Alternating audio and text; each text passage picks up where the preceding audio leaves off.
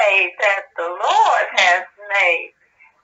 We shall rejoice and be glad in it. Hallelujah, hallelujah. To God be the glory for all the good things he's done in our lives. Hallelujah. Praise the Lord. Love you. Father God, thank you for this time of fellowship. Thank you for being in the midst of us this morning. Lead and guide our steps. We pray in Jesus' name. Just talk to us this morning, Lord God, and strengthen us in you. Yes. Let us live the fullness of this life. Let us hear from you this morning, Lord God, and every morning. Every morning. Help us to pray without ceasing, Lord God. Even as we fellowship one with another, let us keep our minds stayed on you. Bind us together on one accord and bring us together in unity by the power of your Holy Ghost, Lord God, by the direction of your You said if we two touches agree upon anything, it will come to pass. Bring us together in agreement, Lord God, this morning that your will might be manifested in the earth, that others be drawn to you and receive eternal life, even as we have received it. These things I pray in the name of my Lord Jesus Christ of Nazareth. Amen. Amen. Awesome prayer, brother. Amen. You know what? The, the title, Elder, we're talking about today is uh, racism, hate uh, are not compatible with Jesus Christ. Amen. And and one of the reasons I wanted to put in there, and I, I hope it'll reach the uh, person that will see this video, is I asked some of my conservative brethren uh, in, the, in, in, in the workforce, and and I asked them about, do you know what the fruits of the spirit is? And we was also talking about policies that need to be addressed. And uh, what what what I want to say, what I want to say is, Brother Anderson, there's a lot of people don't know the fruits of the spirit. They don't even know that there is the scripture that address fruits of the spirit, the behavior and the characteristics of what the Holy Spirit wants us to bring forth. And if, if you know, that could have been intentional for some people because that way they don't have to compare that with the actions or their behavior. You know what I mean? In other words, God wants you to operate in love.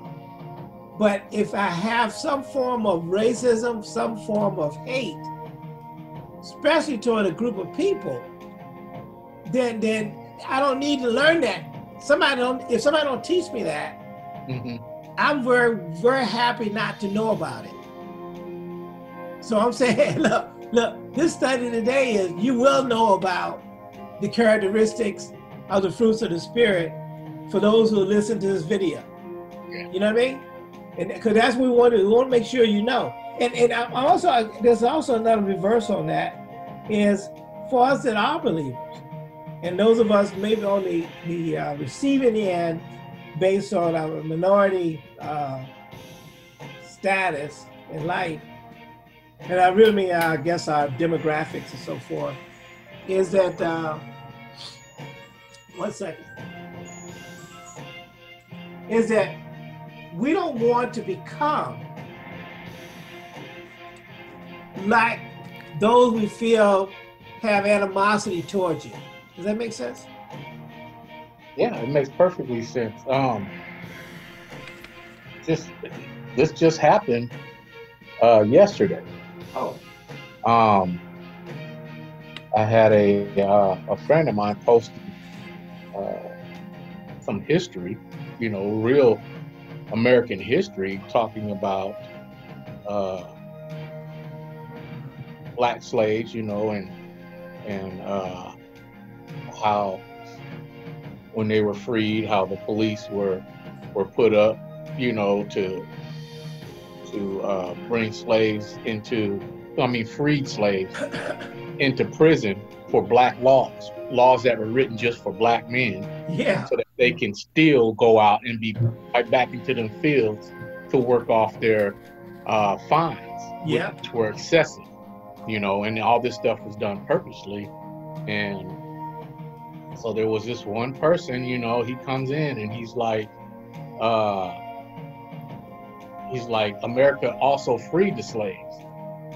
And so I, I just couldn't let it go, Yes, sir. you know, and uh, so I just responded I said, so you said that to make slavery okay in your mind? And that's all I put. And so then he comes back, you know, with some, uh, I said, oh, I said, uh, I said, does that make it okay that you said that? Because there's still uh, slavery today. So he comes back, you know, uh, you're stupid. You know, there is no, you show me one slave today. And so I just responded. I wanted to say a whole lot of other things, but I thought about it for a second and I just responded back. You know, I was like, you know, why are you making personal attacks when we were just having a conversation about a topic? And I said, so are you fearful of the topic to where you have to attack me and not address the topic? And Right, so I said, well, there are still slaves. If you would look at what the original text was about, you know, then you'll understand that what I'm talking about is the uh, slavery based on incarceration. That's slavery Yeah, it is. because incarceration is a revenue now with these private prisons. They make Okay. money off of off of people, and it's not just people of color; it's everybody. Is If they're incarcerated, these prisons make money. So that's slavery because they're holding people, you know, to generate a, a income. And then I said, and there's also uh, uh, sex trafficking. That's Right. slavery. And I said, so there you go. There's two just right off the top of my head. Never heard anything else. I didn't attack him. I just addressed the man in love because I wanted to say a whole lot. He didn't. He didn't respond to that. No, he just dropped off the thread. Oh, he's on some kind of uh, network uh, media. Yeah, there was a social media uh, post uh, with an article showing uh, showing some people in prison guard, you Okay. know, working back in the field that were free, but put in prison on some some made up laws just for black people Yeah. you know if you're if you're just out if you're not working then that's uh vagrancy or something and then they Yeah. arrest you uh, Right. or or you know just all kind of crazy stuff yeah. There- there is a. just to just to be able to arrest folks uh, just- if you're out after after dark or if you're gathered together matter of fact uh, one of them that i remember is if you didn't get a Job. a written permit Oh, okay. from the chief of police, the president of the police department, then you couldn't preach the gospel. Wow. That's still true. That's still, And still they would arrest these police, I mean these these these ministers or anybody else who was ministering the gospel and put them in prison. And, and they would fine them to the point to where it was so excessive they couldn't pay it. And so they that was their their uh, reasoning behind making them work off those fines by bringing them right back to the very uh, plantations that had them enslaved Yeah. to work the fields That, that, that is still happening now because, well, we, we refer to as a prison industrial complex. And where it starts at is in the elementary schools. And I can say that I have been involved in that to the point where I know it's true. They undermine the education of the children at a very early age. So a lot of these kids are not successful academically. And when they get older, they get frustrated and aggravated and they do stuff that's criminal. They in in Macon, they were really addressing the issue of them having excessive penalties for like minor infractions. But what it actively did was, and I saw this because I used to do prison ministry over uh, over in Fort Valley and Macon, and I mean Fort Valley and Perry, and in Warner Robins. Um, they would give these guys at the age of 18 years old. Some of them got up to 15 years in jail, Wow. and they were handing out like it was lunch. So because I mean, I can't three strikes you out or something like that. I can't remember what the thing was, but it was actually put in place by the Clintons. Some of the legislation that they got passed, some of the things that they had concerned prisoners, really incarcerated blacks up to the point where it was, it was excessive, and they've had to go back and redress some of that or address some of that. But it was a way of getting them into the prison system so that they could be farmed out. They did that after, uh, like you were saying before, whatever your, your friend had introduced into the uh, conversation the other day. Uh, it's still happening right now, and it's traceable. It takes you back to the thought. It says that for the love of money is the root of all evil. It was all done for money. It, it, the the, the, the, uh, the, slavery was the cheapest form of labor that you could find. It was it was perpetuated. Free, free, free. You can't get no cheaper than free labor. And then you get, you make your own workforce. Uh, all the children that were born belong to you too. Yeah. So it was a perpetual. And so it was it was an ideal. I mean, a workforce. And it, it, it, the cheapest form of labor you could have, profit over the top. But it was still wrong. in accordance with what? In accordance with the way that God saw it. Was slavery something that wasn't in the Bible? It was. Even the Jews had slaves. Yeah, it wasn't like the, the way they like slaved out America. It was yep. different. It and was more that, of a servitude in the Bible than it is uh, here in the states. You know, you just owned and you're treated, you know, like an animal. Yep. When, when in the Bible, they these people were, they they were uh, accepted into the tribes. You know, and uh, they weren't. They were less than as, as far as if they weren't uh, children of God, but they were still treated uh, to the point with civility till they worked off their debt and then they were set free. Yep. And uh, and oftentimes, if if if their spouse, if they married someone, you know, that was in bondage as well, they would sometimes just stay a, a indentured servant to be with that person. That was voluntarily, yep. you know, done. so it, it, was it's a big difference between uh, the two, you know, because a lot of people say that you know Africans were were selling off uh, slaves. Yeah, well, they weren't treating them that way, and I don't believe that they would have sold them to uh, to these uh, Europeans if they knew that how they would be treated. Mm. So, but anyway, that's we we will never know. But here's here's the other thing to let you know. That's true about that. Uh, Cause I even had one guy that told me he said uh, people born in this country hit the lottery, right? if, if you're born here, it's hit the lottery. And I really think he was trying to say, if we're born here, we hit the lottery because uh, this is a better place to be, you know, uh, opposed to some of those uh, other countries. Uh, hey, Jimmy. Hey, Pastor. How you doing, sir? I'm doing well. How are you? We're doing great. We, we're in a conversation dealing with uh, racism, hate is not compatible or not compatible with Jesus Christ. So we're doing a preliminary discussion. And I, I was telling uh, uh, Brother Aslan them that I had one of my conservative counterparts that sit there and said that people born in people born in this country hit the lottery. Uh, I probably threw him off a little bit because I said, well, you mean when Christopher Columbus uh, called himself coming and finding this country, uh, when the Indians were here, maybe, you know, because they there were some people here. So the Indians hit the lottery first, right? You know, and, and, and then there's some other people came and helped build this country. So the lottery is based on the backbone of a lot of people starting from the day it was discovered. Does that make sense? Yeah. I'm trying to say is that don't you sit there and think that we hit the lottery when we came here. Yeah. Uh, uh it, it, was not a lottery. it, it was forced. Yeah. I, I cannot get away from the idea that this thing was conquest. And, and, I think when we move away from that idea, it's kind of, it's things kind of cloudy and fuzzy. Because the United States of America was not settled. United States of America was conquered.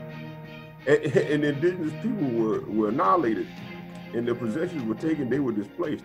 That is the beginning of the history as we know it, and, as we became a part of it. Because after that, we, we were brought in the, the, the uh, cheap labor force. So no lotteries were hit.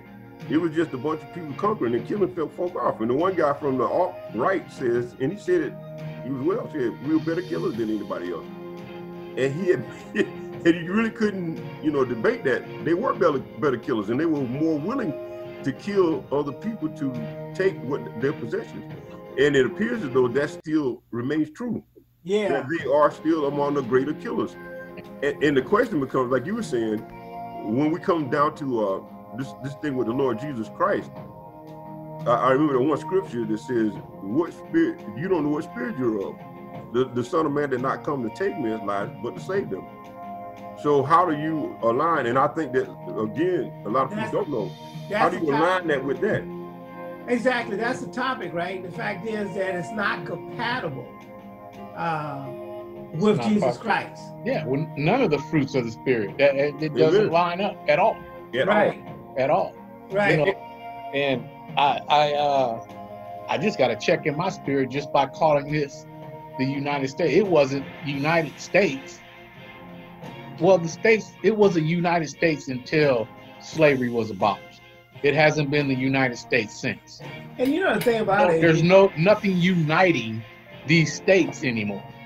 So Well, you you- can't call it really the United States.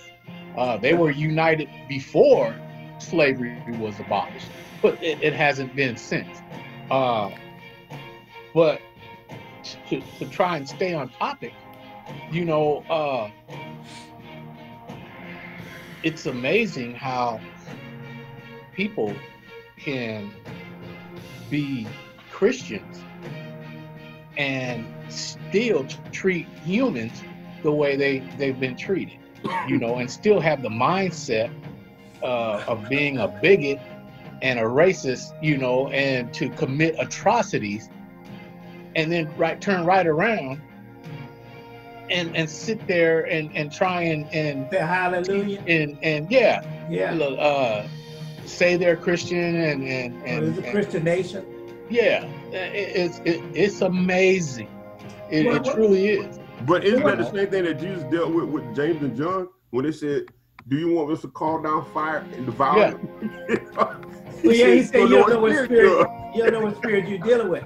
yeah But what I'm saying is, I think the you know that's what I'm saying is that, that my people are destroyed for the lack of knowledge. Amen. Is that you know the Bible? First of all, we, we could blame it on ministries, but let's let's back up a little bit. The scripture says for you to study yourself, you know, study to show yourself approved. And if they're not people not encouraged to study the word of God, or they think it's a, from a religious, you know, it, it's it's, uh, it's a religious way of doing something, uh, opposed to no, it's a purposely he wants you to study the word Mhm. so you can know what is in the word, right? correct Because I mean, I, Brother Jackson, I was telling, I was talking to some of my conservative counterparts the uh, the other day, and I asked him about, do you know about the fruits of the spirit? You know, the scripture deals with the fruits of the spirit, and and I I even encourage many of you to do your own little survey. You know, uh, and and I think you're gonna get you're gonna be amazed that many will probably not even know the fruits of the spirit or even heard of the fruits of the spirit. well you know coming up we we weren't taught to study the bible you know we had we had sunday school you know which was structured um, but it was still somebody teaching and uh, i know there were scriptures that were given out that we were supposed to go over with lessons and stuff like that but as far as Characteristics like that. that i can remember Yeah. you know, uh, getting into the word was just not something that was taught. It was taught that this pastor is supposed to teach you, you know, God's word, and he hears from God, and then he's supposed to actually be a uh, somewhat type of Moses person, and Uh-huh. you know, and give you God's word, and and he pretty much you know, was had had a lot of authority when it came to the congregation. You know, people people vested in these these men or, or women, but really not women back in this particular time, but uh but they they put so much uh, they gave them so much authority that they were, you know, they were put on a pedestal, and they they took every word that came out of these people's minds, and a lot of the preachers that I came up listening to, I can hear in my mind some of the messages that were taught, and you can tell they weren't studied, you know, because you know, and and I the one of the churches that that I came up in from a child, it was always read. You know, they'll tell somebody read, you know, in the in the congregation, and that person would read, and then he'll say stop, and then he'll just whatever pops in his mind, Yeah, yeah. he'll try and expound on that that word, and it really never Mhm.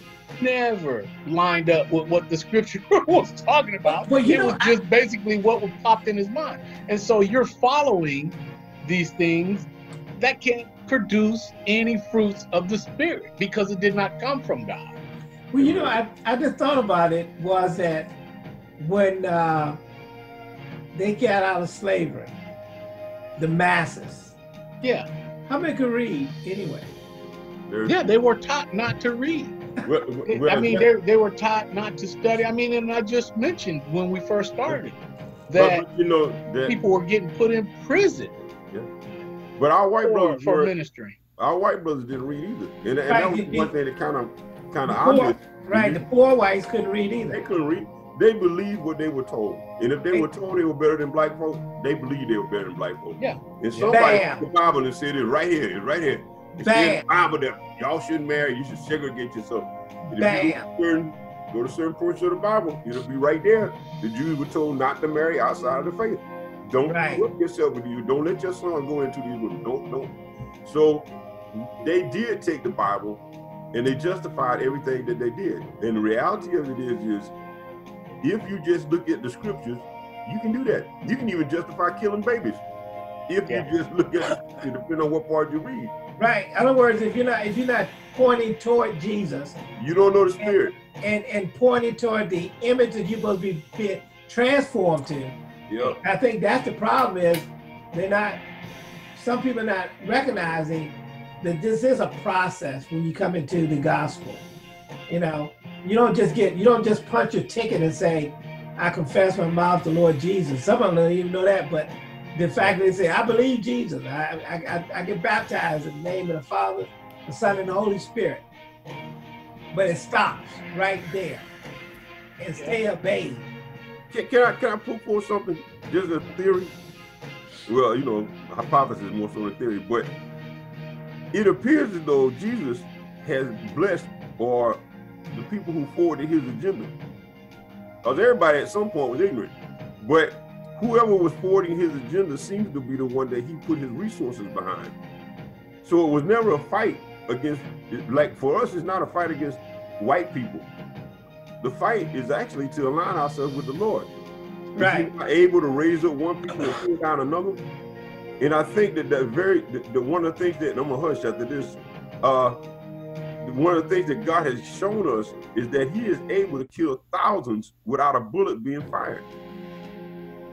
Where did this COVID disease come from? Where does sickle cell anemia? Why is it tailored to blacks? Why are there certain diseases that seem to be more, you know, uh, uh, uh, have greater impact on certain races? Is God able to tailor tailor design diseases? He didn't even use weaponry to take some of the places that they uh, occupied in Canaan land. He used animals to drive the people off. So is the fight really between us and black whites, or is it just us trying to align ourselves with the Lord? Well, you know, the the Bible said that those who against- live those who live godly shall suffer persecution, right? Yeah. Right. The, the scripture also said that the kingdom of heaven suffers violence, and the violence takes by force, right? And I mean, you know, you're in a spiritual warfare. I mean, the scriptures tell you that the enemy uses anything to include people, to include ignorance. You know, Well, whoever subjects themselves to the God of this world, I mean, he ain't out to make peace. no. At least not with nobody trying to to be uh to, to be a Christian, exactly. a real Christian. But we look Christ like But, look at his uh, he lost. Well, he, he did lose. He did lose. He he and he really never had any power or authority in this particular realm, this physical realm, outside of what's given him by man. Amen. You know, uh, and he still doesn't. His his only power and authority is over those who will it to him. He Right. cannot Except- operate in this physical realm without someone supporting his agenda. Mhm. So that's the warfare of the mind. He he he And- he, he, he he's a spirit and he he puts thoughts in people's minds and people accept them and they do his bidding and his will. So that's just it. He has no authority, especially of those who know who they are in Christ Jesus. Right. If you know without a doubt that who you are in Christ, he really does not have any authority. All he can do is bring up your past. Right. And it doesn't, your past does not matter. You know, and, and like I heard someone say, every time the, the enemy comes trying to bring up your past, you tell him his future. And then move on. Basically, Amen. just get on behind me. You know, your your your time is is is already set.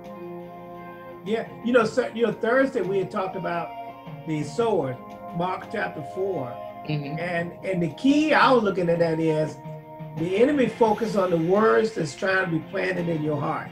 Yes. hmm And he don't want Yeah. words of God planted in your heart. So he wants to distract you and plant other words, like you said, those thoughts and stuff, is other things he's trying to implant Yes. in there. So if if, if the larger society uh, of the Christian community is not trying to get the word planted into their hearts, or only, you know, you know, back back to Second Timothy again, study to show yourself approved to God, right? In one part there, it's talking about rightly dividing the word. Yes. And that means, I like Fred Price says this, if I can, if I can, if I must rightly divide the word, Been wrong. I can wrongly divide the word. Right?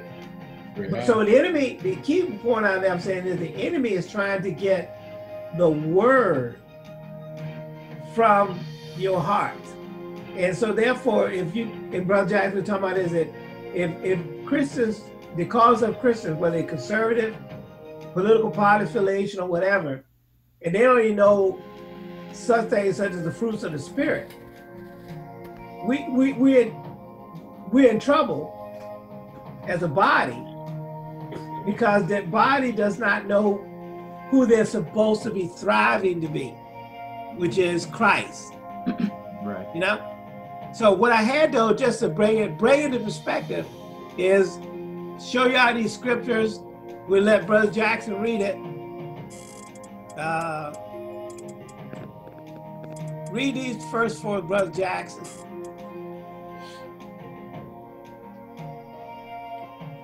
All right. Just move the screen a little bit. All right. So you want me to read uh, from Matthew 12, 33 through 37? Yes. Amen. Either make the tree good and its fruit good, or else make the tree corrupt and his fruit corrupt. For the tree is known by its fruit. A generation of vipers, how can ye be evil speak good things? For out of the abundance of the heart, the mouth speaketh. Which basically says, you know, whatever's kind of in us, whatever, um, whether we're in the flesh or whether we're in the spirit, that's going to come come from us. And Yes, uh, we, we see that now. Uh, a good man out of the good treasure of the heart bringeth forth good things, and an evil man out of the evil treasure bringeth forth evil things.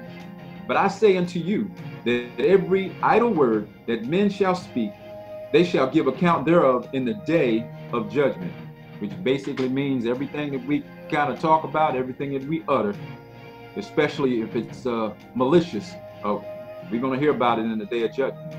And Yes, then lastly, here in 1237, for by thy words thou shalt be justified, and by thy words thou shalt be condemned. Amen. Yes. But the point, the point of that is, exactly, is that you, if you know that you're going to be known by the fruits that you bear, you first need to know what fruits they are, right? Amen. And and and then, like you said, you said it too. If hate is coming out of your mouth, if disdain for some people is coming out of your mouth, uh, we got a, you got a problem, and we got a problem as a body of Christ.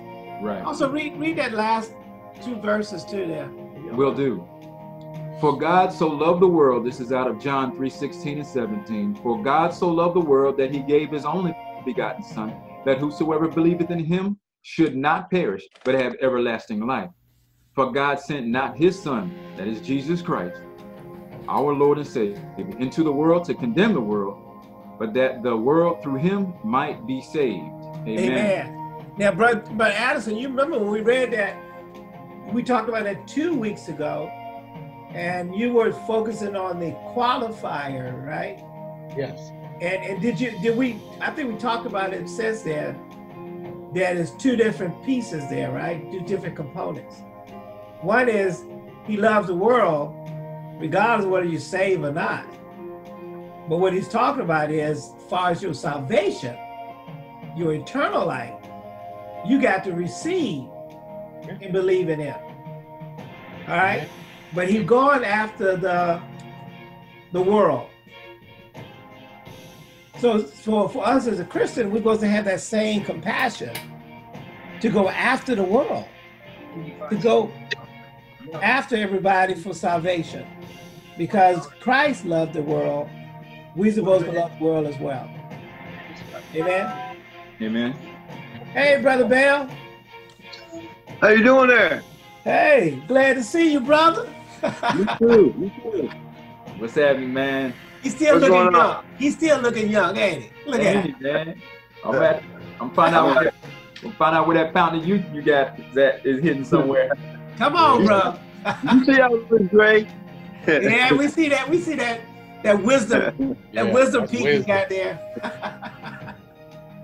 but anyway, so so so so so what I'm saying is that our people who got that hate and speak that hate, they're doing it because they're not understanding what Christ is about.